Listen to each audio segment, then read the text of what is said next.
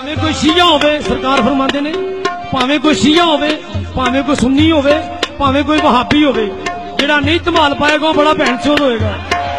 लाल शाह बात कलंधर लाल शाह बात कलंधर